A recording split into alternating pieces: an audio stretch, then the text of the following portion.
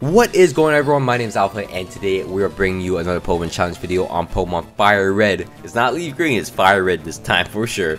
Uh, we're playing Pokemon Fire Red and today's challenge will be can I beat Pokemon Fire Red using only gift Pokemons in the game. Now obviously we've done this in the past multiple times. We've done this on Heart Gold and also Unova. So if you guys have watched those videos, you guys have a grasp on what the rules are. But if you guys have not and this is the first time you're seeing this type of challenge, I'll obviously explain. To brief you on what's happening, uh, the rules are when we're giving a Pokemon for free. So free is obviously, you know, gifted, you know, gifted, not like barter for anything. So no trades, um, no catching Pokemon. We have to be obviously given the Pokemon to be able to use it. So we're gonna play with that only. Uh, in the past, I didn't use starters, but in this game, you don't get a gift Pokemon for a very long time, so I just decided, whatever, we're just gonna use our starter. And obviously, we cannot use items inside the battle. We can use held items, but we cannot use the items in the bag during battle. We're allowed to evolve the Pokemon as much as we want. Uh, no HM slaves, obviously, and that's about all the rules. So if you guys are excited for this video, please don't forget to leave a like, comment down below some challenge ideas, and also subscribe if you guys are not already. So let's get into the challenge. So we start off the game obviously with our starters. So starter first gift Pokemon we're gonna have. So Bulbasaur is what we're gonna choose. And Bulbasaur nearly, nearly beats the Charmander. And that Charmander is gonna be a pain for a while. Uh, we trained up with Bulbasaur for a little bit. We might have blacked out once or twice in the wild for no reason. Uh, but Bulbasaur once it gets Leech Seed will be very useful for us. Uh, we throw away all the Pokeballs because, you know, we don't need no Pokeballs where we're going we're gonna get we're gonna mooch off of everyone and we're just gonna take Pokemons for free.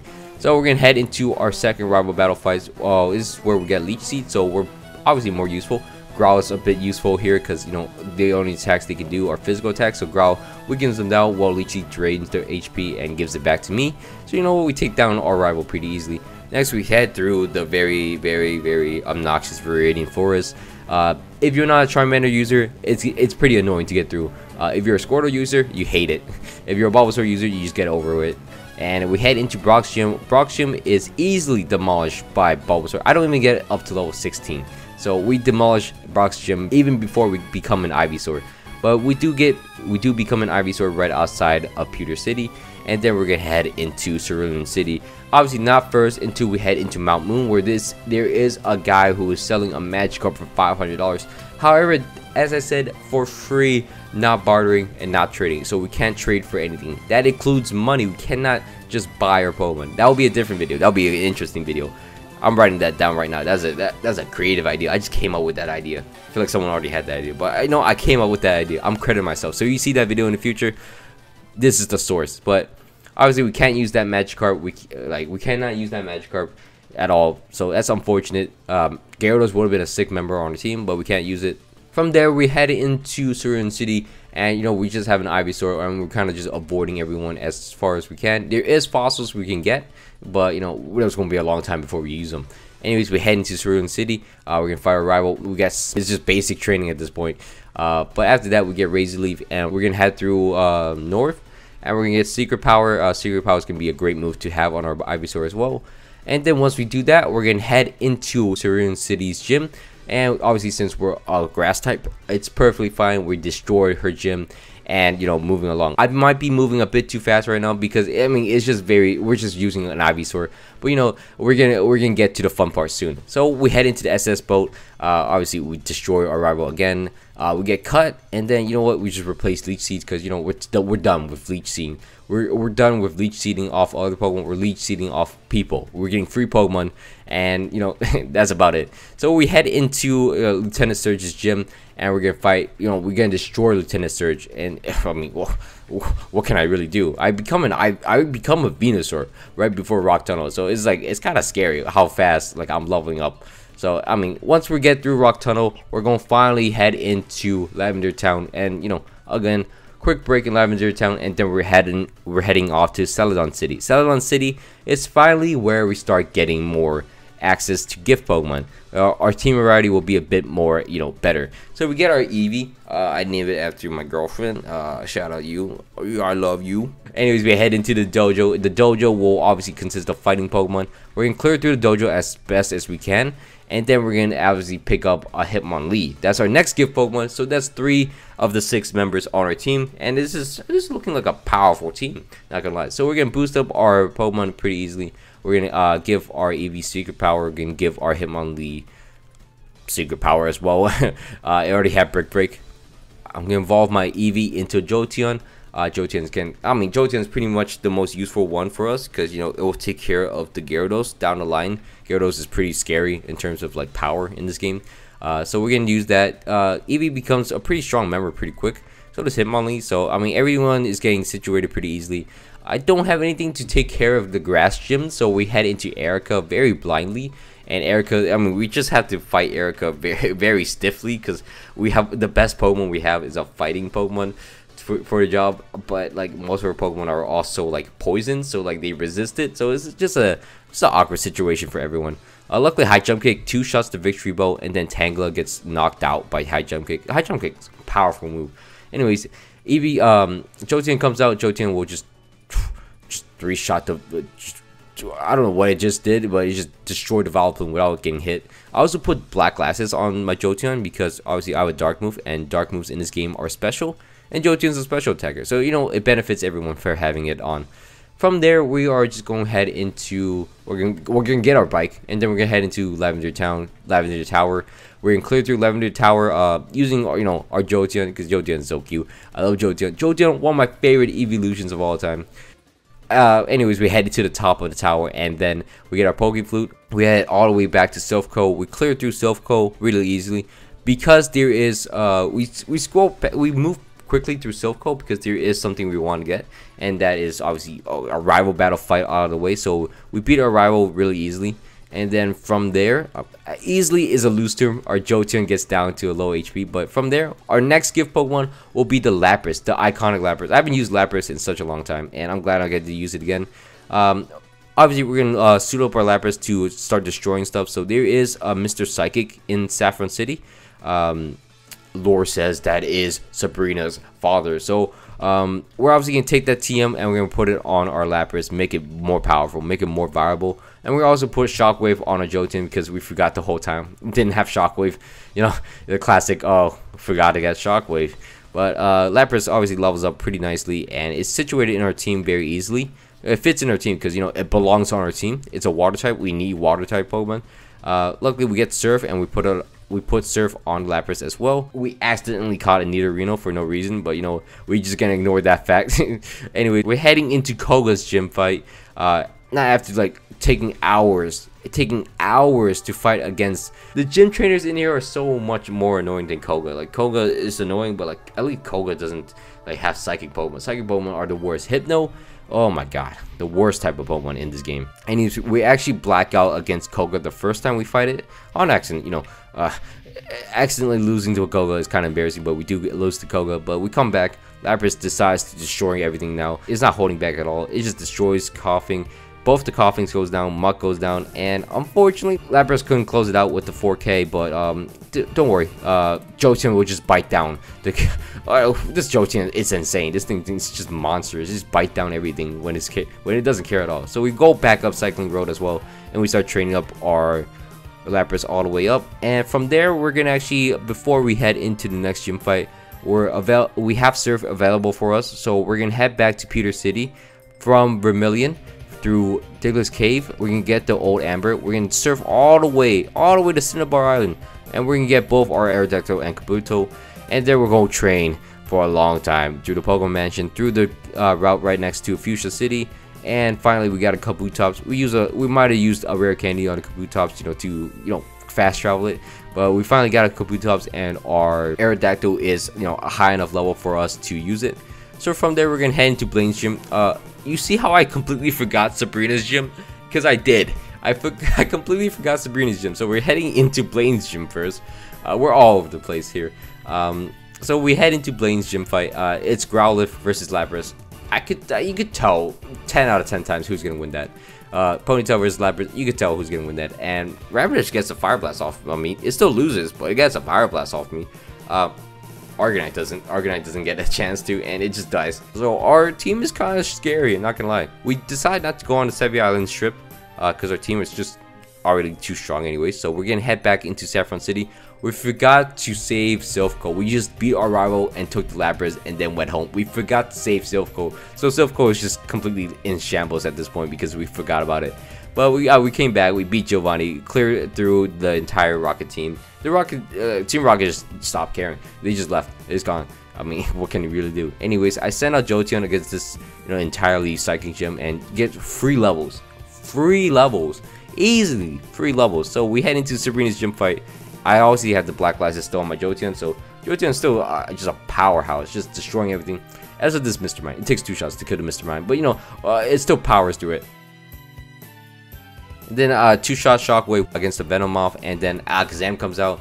I, I, I, didn't know I was confused at this point, but eventually, you know, confused took me down to 1 HP with his uh, beam, But we lived it, and we start flinching it, and then we beat it. I'm like, oh, okay, so that happened.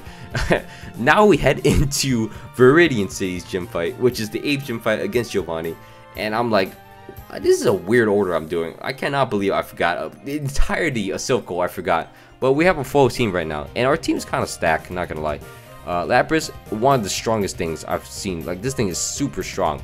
And uh, it does demolish everything, I won't lie. As you can see from the uh, gym trainers here, it's getting free XP. I'm running out of, like, PP to use it and like I like I just I was too lazy to go back so I'm really fighting Giovanni with only 4 PP on my surf which is kind of funny uh, I mean Lapras can handle it La Lapras ends up destroying Giovanni really easily uh, two serves down the Rhyhorn and then you know I got lazy and used Ice Beam to knock down the Nidoqueen and Nidoking. and then uh, Dugtrio comes out oh I thought I BM'd it by using Psychic but no I Ice Beam that as well and now we are done with the gym trainers. Now we're heading into our penultimate fight against our rival. Uh, rival Gary uh, will obviously start out with a Pidgeot. I mean, send on my Jojen. Jojen can take a bit of damage, but uh, at the end of the day, it doesn't matter. Uh, it knocks down the Pidgeot. A Rhyhorn comes out. It's not going to be useful. Rhyhorn, see ya. Lapras kills it. Don't know why you use Rock Slide against uh, the Exeggutor. And then Shockwave will kill the Gyarados. My team is well rounded. It's so good. Like these gift Pokemons are actually really, really good. It's insane. Now I don't know why I sent out my Aerodactyl to beat the Alakazam, but it worked out. So I mean, if it works out, it works out. And then somehow it doesn't beat the Charizard, which is four times weak to Rock. I don't know, understand. But anyways, we have enough uh, things in the back to obviously secure the victory. And we beat down Gary. Now it's time to head through the Elite Four. now it's time to head through Victory Road. And obviously Victory Road can be a bit more painful. I mean, it's not that bad. Our team is pretty stacked, unlike any other challenge where it's like annoying to fight. Uh, I kind of enjoy fighting with my uh, with my team. My team is pretty good. I like my team. Anyways, we uh, obviously gear up our team a little bit more, give it more moves, give it more coverage, and now I mean we're ready to go. We're set to go. Uh, we head into the first Elite Four member, which is Lorelei. Lorelei will have a Dewgong. Jolteon comes out, thunders it. Well, I mean, what can you do? Like, I mean, what can you do? Uh, Cloyster comes out, it's gonna stall me for a little bit, but then Thunder will knock it out, and it's over for that. Slowbro comes out, I'm gonna tell you one thing, things didn't change. Uh, obviously, I missed the Thunder, but it's okay. Next Thunder kills it. uh, Lapras, I mean, it's not my Lapras, so it's useless. So this Lapras goes down in one shot to uh, Thunder. I mean, I didn't even know how lucky I was. I just kept hitting Thunders. What the hell is going on? Anyways, Aerodactyl comes out, misses the Rock Slide, of course it does, but then hits it the second time, and then Lorelei goes down. That's probably the easiest time I've taken down Lorelei. Like, oh my god. Like, thank God. thank goodness, because Lorelei is such an annoying, like, trainer to fight. I haven't used my Venusaur in a hot minute, I'm just gonna say that.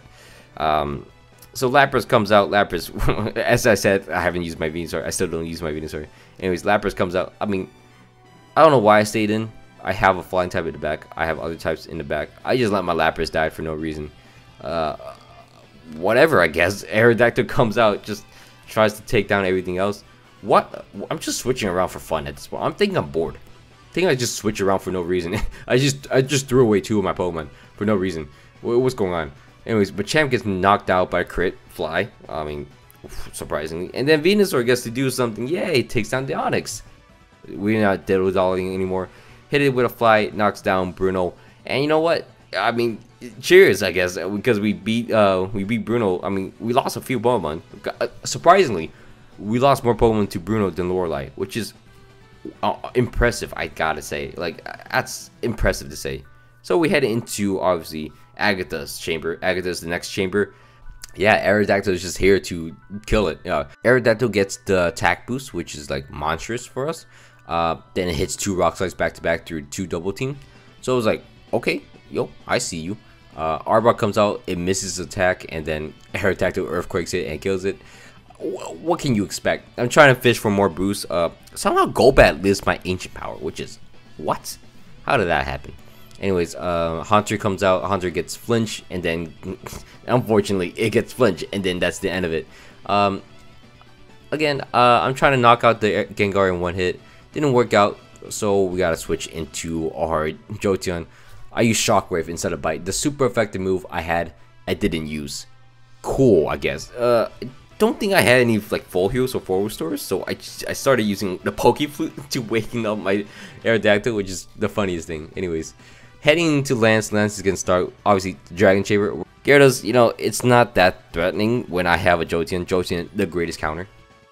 Uh, so Jolteon knocks it down pretty easy. Lapras comes out when the Dragonair comes here. Lapras will mow down the Dragonair.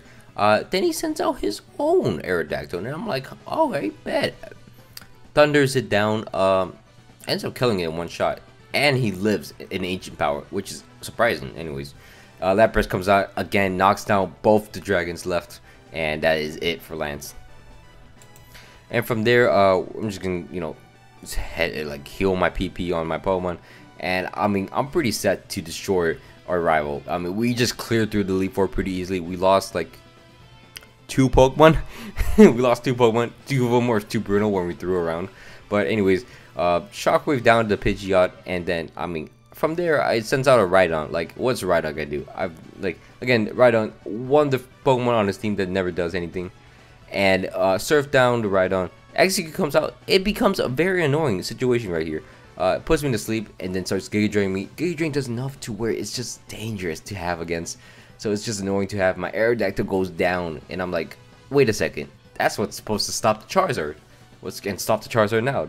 So now Venusaur has to come in clutch and try to like weaken down to Exeggutor for me. And this is just painful to watch because I'm like, what am I doing? Like, how, how did I get into this situation? Why can I not just beat him super easily? And my Venusaur eventually paralyzes it, but it goes down too. So it's just like, ugh, it's tough. Uh, send out my Kabutops. Aerial Ace it. Not enough. Giga drains me and I'm dead. Three of my Pokemons are dead.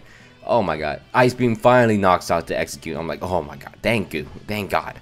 Um, send out my Jolteon. Jolteon will bite the Alakazam. Psychics me, and you know, another bite will not kill it, but it'll flinch. And I'm like, okay, that's fine. Let me bite again.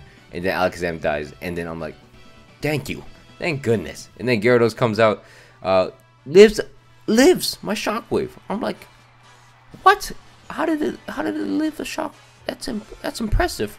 That's impressive. It lives my Shockwave. But anyways, Charizard comes out, and it will actually miss my it will actually miss the fire blast. I knew I could live a fire blast, so I was gonna confuse it, and hopefully it hits itself. But it misses the fire blast, so it was over anyway. So I mean, two serves will knock it out, and we beat Gary. But I'm like, wow, that took more effort than it should have. But we finally beat Gary, and we are the champion of Kanto. And I mean, that's pretty impressive. We beat the entire game with gift Pokemons only. I mean, eh, the gift Pokemons are pretty strong. Look, this team is monstrous. I'm not gonna lie. Um, so anyways, thank you for watching all the way to the end. My name has been Alpha. Hope you guys all enjoyed. Please don't forget to leave a like, comment down below some challenge ideas like this one.